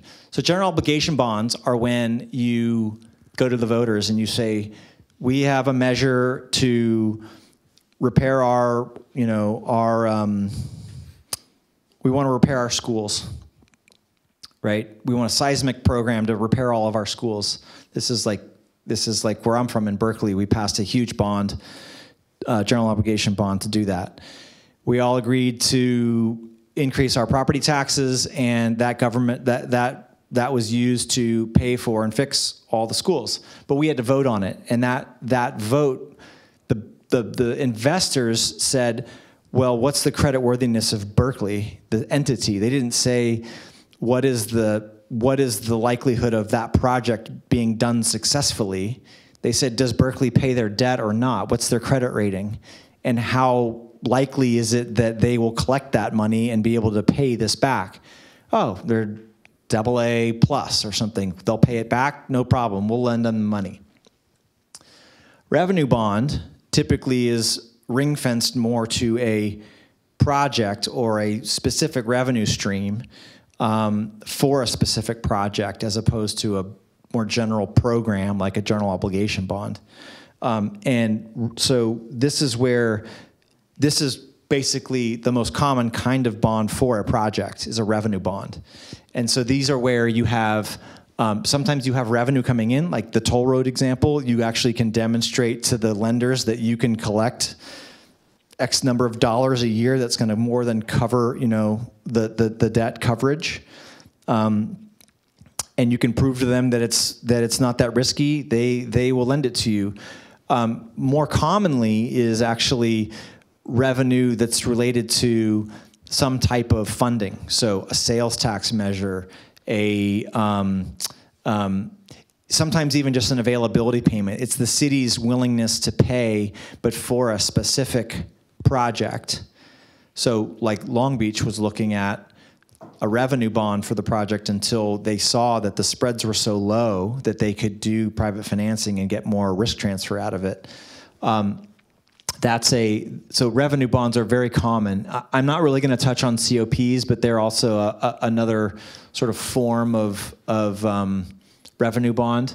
Um, and I'm not I'm not steeped in COPs enough to really be able to tell you why you would use a COP over revenue bond. But COPs are another mechanism that you can use. Um, so here's here's as of Monday what the long term notes like with the ratings the the the interest the yield scales are. MMD stands for Municipal Market Data. And this company um, in the source here, um, Refinitiv, is effectively a, it's, it's like the tracker of all the bond market data that everyone follows. So you can see maturity on the left, 30 year, 30 year AAA rated uh, bond, municipal bond, 2.08%. Um, insured means that you have a lower rating, but you're using different insurance mechanisms to um, effectively put belt and suspenders on on that um, on that transaction on that on that bond, and so the the there's a little more risk, so the interest rate's a little higher. And then you can see the difference in different sort of submarkets in California and New York. Um, but just historic historic lows right now. Um, I had three, was it 3.3 before, and now it's down at like two. And I think the point, my point here is that you can have different scales of funding too. You can do a 10 year note, you can do a 15 year note. It's not always 30 years, but that's in project finance, 30 years is long enough to cover some of the life cycle costs in a P3. So we, we like to look at 30 years. Um, so a couple other uh, quick examples of um, municipal financing.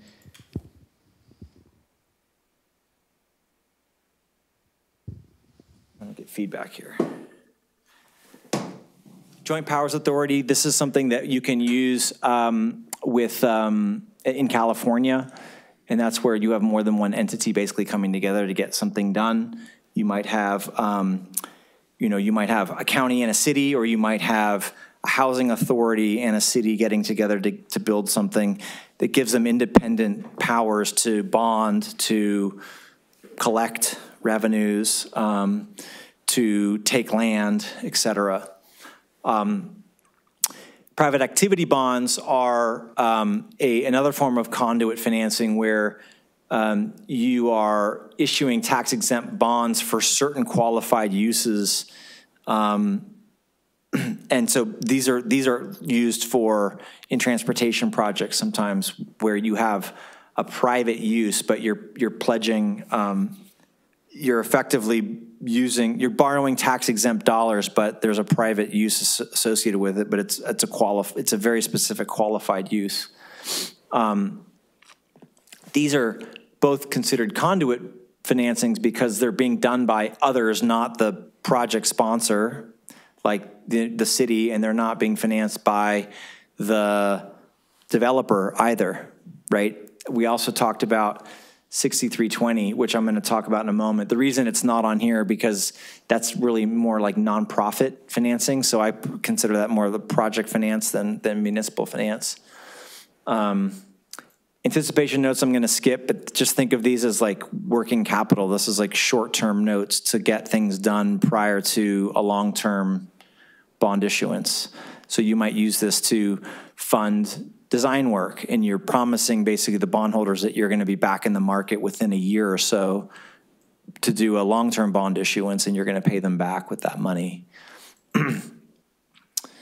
um, so that was all municipal financing. In terms of project financing, we talked about the construction loan in the case of the port, right? This is short-term um, expertise from banks to do loans for the construction period. Um, and then you have two different kinds of, of um, bonds that are, I would say, more considered like project financing than, than municipal. So the 6320, we talked about that. That was the that was the um, um, Vermont corridor where the nonprofit issued the bonds, right? That that's also you could consider quasi conduit, but you're you're trying to get that financing and the risk transfer arm's length from from the the public owner Private placement is where you basically go to um, somebody that is willing to buy all or some of your bonds specifically, not out in the capital market where you're, you're there's a marketplace where you're buying bonds. You're like sitting in their office saying, here's, here's the project, here's what we'd like you to do and you negotiate the terms and they they promised basically to buy to buy your bonds in a in a private transaction. So it's a way of almost like you know they're lending money, but they're using it in the in the bond context. And this has actually really driven the market. The private placement market has exploded because of the cheaper cost of capital, and so the private party expectation, private investor expectations for interest rates has gone down and down and down. So like in Long Beach, the private placement was how we financed the city hall and library and stuff. That interest rate was virtually the same as tax exempt financing. And it had lots of interesting um, beneficial terms like um, delay draw. Um, one important it's kind of inside baseball, but when you talk about financing and you borrow, you borrowing money through bonds, you get all the money at once, right? The transaction closes and all of a sudden you have all the money you need for your whole project on day one. And now you've got, in some cases you can defer interest, but you've got basically, um, you've got, you've got what's called capitalized interest. You're paying, you're paying interest on money that you're sitting on, but you're not ready to spend it yet. Right, so that's a, that's a cost to the project. Whereas if you can borrow the money and only pay, start paying interest once you actually need to spend it, that lowers the capitalized interest of your project. So if you have questions, I can talk to you offline about how that works. But private placement, it's enabled us, enabled the industry now to just borrow that private money when it's needed. Um, I just had a quick question. Yeah. If the city has been considering like, you know, just having like private sector, you know, residential to have like, you know, you mentioned, it mentions a pre-selected number of investors, like people get their name on a plaque in the city hall if they've donated X number? I mean, I don't know if that's something that the folks have considered for, yeah. It is, in fact, we, um, the Finance Advisory Committee has been talking about having some sort of po- a policy uh, regarding philanthropic um, donations and things to help offset, not cover the entire cost, but offset it. We are working um, on bringing a, a draft policy to the city council, I believe in June is when it's tentatively scheduled to occur. We're looking at um, not only for um, these types of capital projects, but we're looking at expanding that to maybe adopting a median, adopting a, uh, you know, so we can help beautify the city as well, in uh, like adopt a tree and things like that. So that policy will be coming to the city council in a few months. I just imagine a lot of folks will be also interested in, you know, just investing, like I'm saying, doing that for the, the Civic Center too. So it's just something think, yeah, I mean, it's kind of exciting, so. We, we sort of, the Recreation Parks Department has a very, uh, has, has a similar program to this to offset some of the operational costs. You could, you could adopt a brick, you probably see it at, uh, PVIC and things like that. Um, so, and I know it came up with Ladera Linda, and we're exploring that, um, ultimately to help offset some of the costs that we're incurring for that project. Thanks, Laura.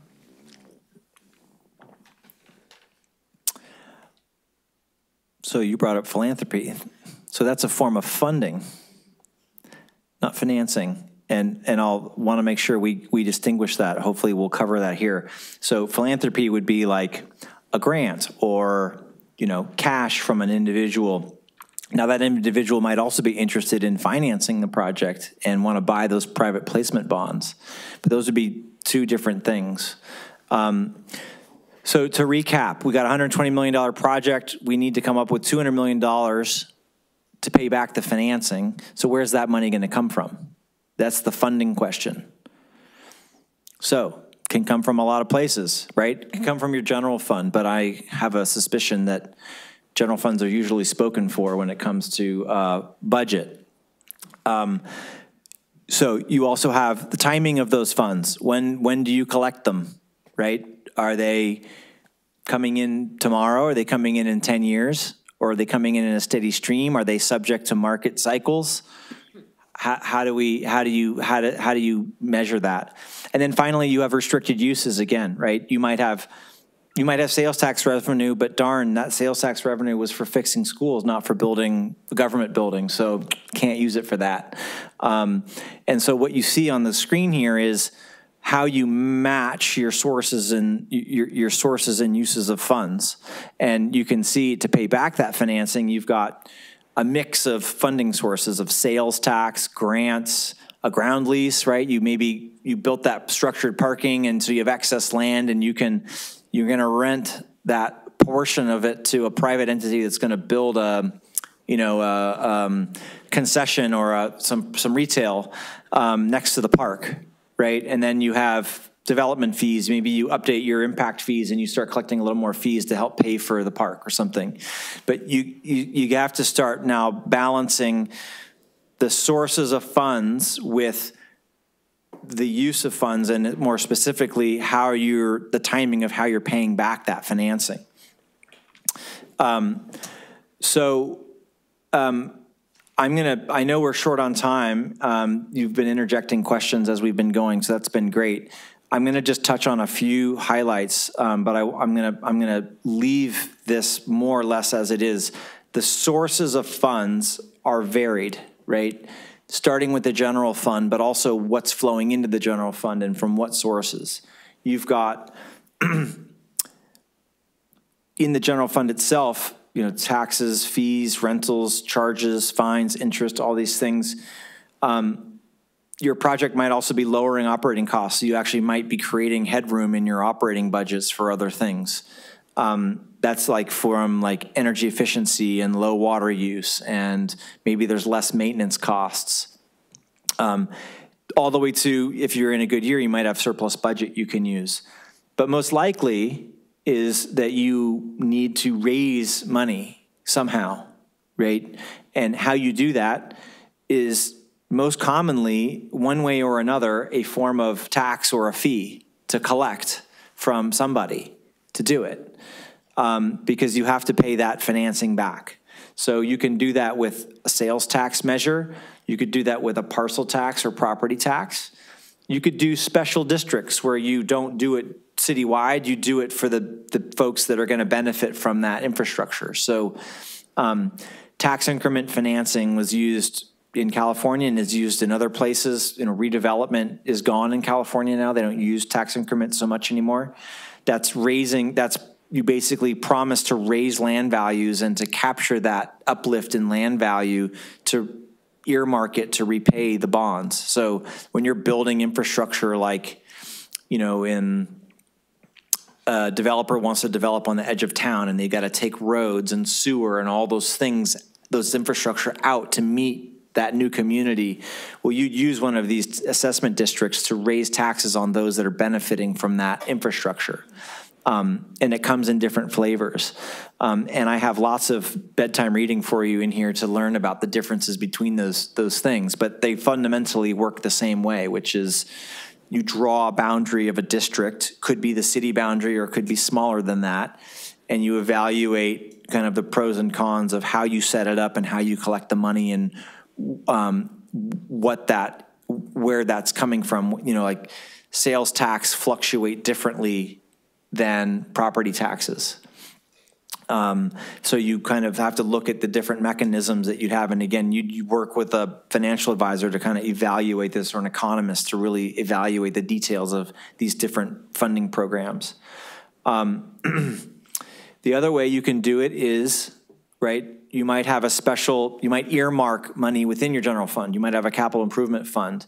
You might apply for grants right? Um, I'm working with the city of Burbank right now on a project, and they are going after a relatively large grant to support design work for um, a new library. Um, and it's going to cover a lot of the expenses associated with that. It's going to be really helpful.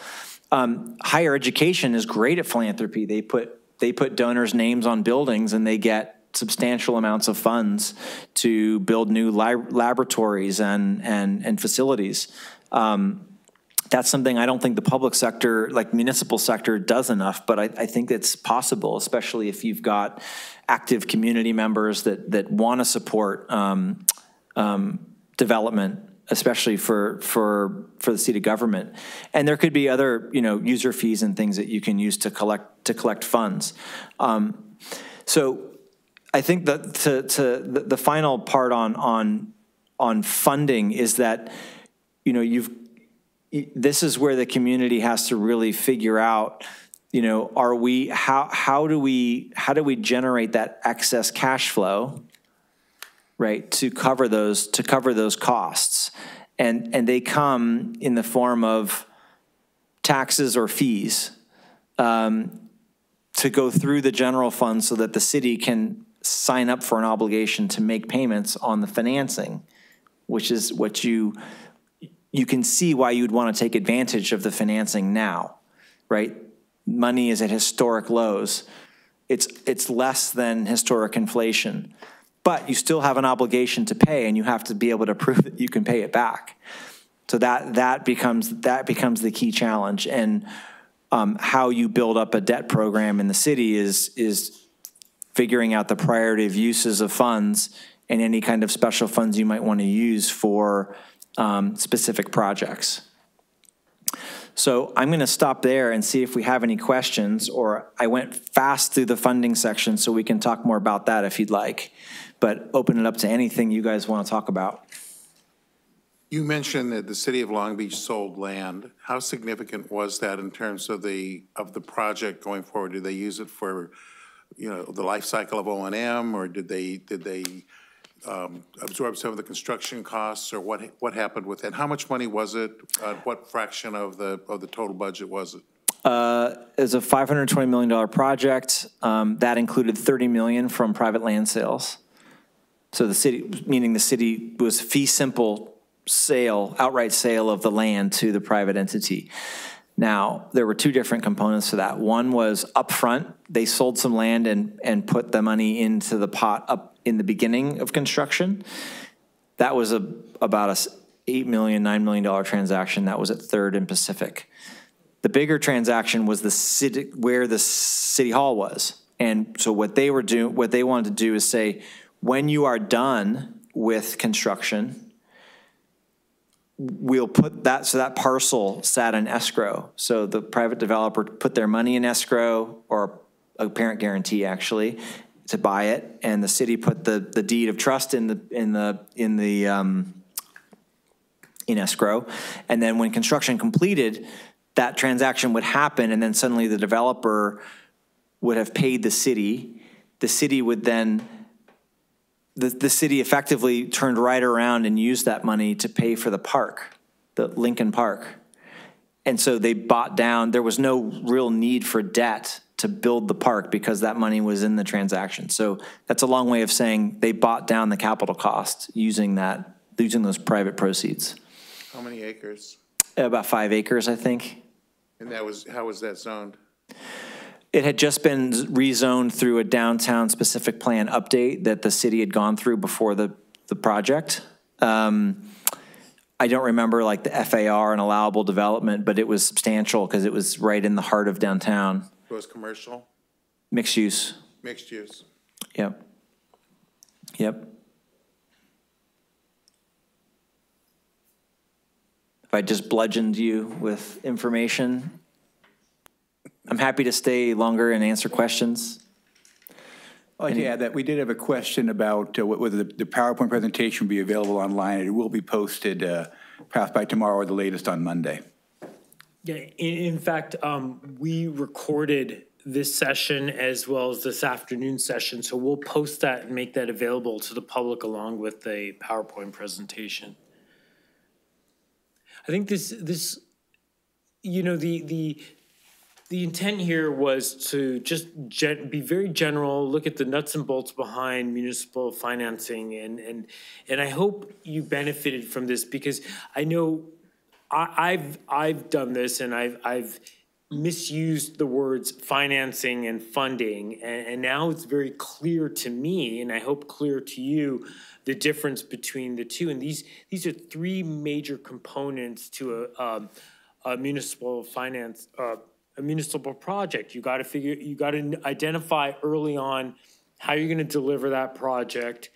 Then you'll figure out how to finance it, and then how are you going to pay for for what you you you finance it. Earlier today, we were talking about how um, if a city has the cash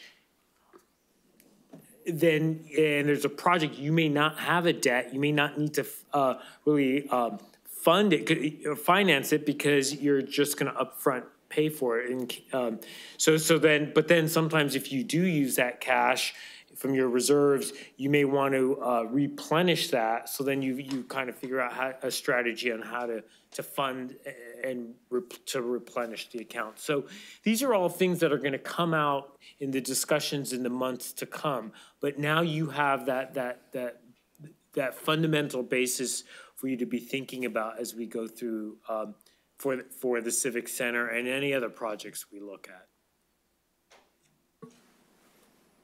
I, I, and I don't know if we've got, because I know we've got some members that are participating virtually. If we want to ask, see if there's any questions aside from the one question, Matt. You guys want to pan out? I, I have, I have one question. Do we have a copy of this presentation? Yes, we do, and we will make, we will Okay. provide it to, Because uh, there was so much information in some of those charts that there was no, there wasn't sufficient time to read it, and I'd like to get, to read it in depth.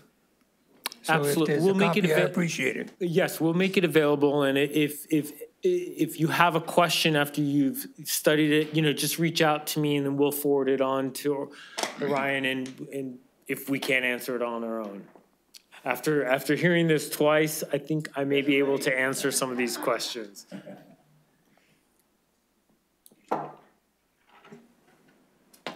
Very good. So do we have any other items on the agenda?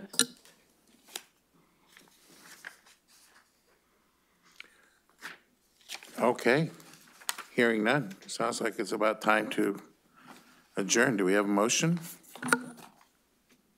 I don't think a motion is needed to adjourn. Not needed? Hearing, hearing, hearing no, oth- hearing no other comments, we are adjourned. And, and, and on that note, I just want to welcome you all back in person. It was nice seeing everybody. yeah. And, and to extend our appreciation to Orion from flying down from the, the Bay Area to be here uh, today. And I know you've done a lot of talking in the last few hours, so you need to rest your voice now. Thank you, thank you. Uh,